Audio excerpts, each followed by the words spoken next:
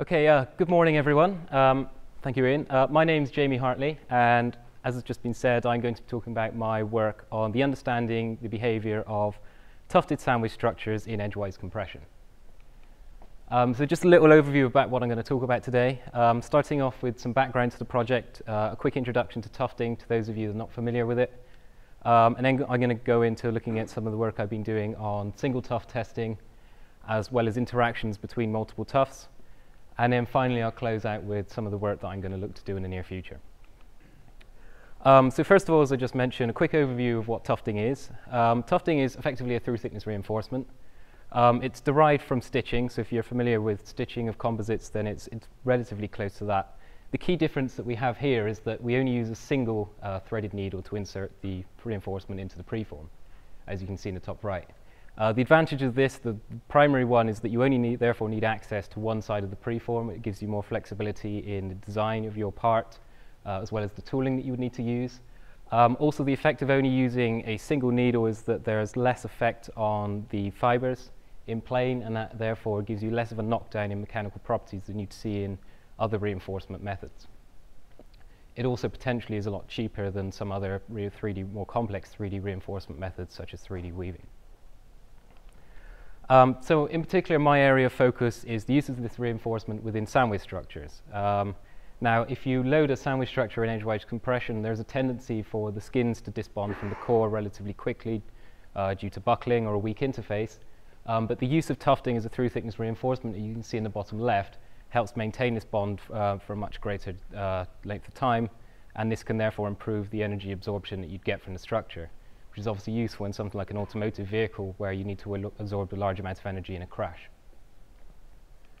Um, so as I mentioned at the start, one of the things I've been looking at in particular is single tuft testing. Um, so the reason behind this, uh, first of all, one of the effects of using tufting is that because you're only accessing from one side of the preform, on the back face what you get is these free loops that form on the surface. Um, one of the things I wanted to look at to start with is what effect these have on the performance of the material. Um, so the idea was to try and develop a test method that we could use to look at tufts in isolation to see the effect of changing some of the variables have.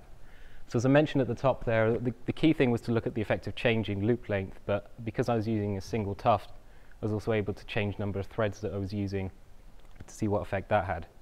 Um, so as I said, it, the, the new test method required a new coupon design, which I've shown in the bottom right here. And the idea of that there is to isolate a single tuft, test that in edgewise compression, and see what effect it's having. Um, so just a quick summary of the results. Obviously, I can't go into too much detail in the time I've got. Um, what this graph is showing is the energy absorption um, of each of these test coupons under different configurations, both static and dynamic.